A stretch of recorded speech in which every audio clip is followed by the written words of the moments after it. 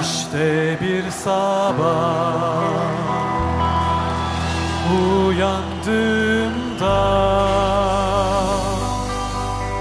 Ciao bella, ciao bella, ciao bella, ciao ciao